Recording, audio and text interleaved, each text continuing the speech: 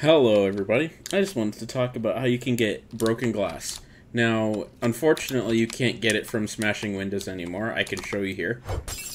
No broken glass, no broken glass, nothing. So, unfortunately, the only way that I believe that you can reliably get broken glass from is bathrooms.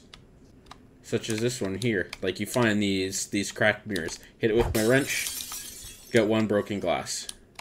Hit this one with my wrench, get one broken glass. Now you can jokingly, uh, you can eat it as a treat, and it does 150 damage. It can kill you very, very quickly, and obviously you can survive it if you have more than 150 HP. But however, you can also use it for various uh, optics of scopes, the two times and more zoomed in, and that's how you can get your broken glass in Seven Days to Die.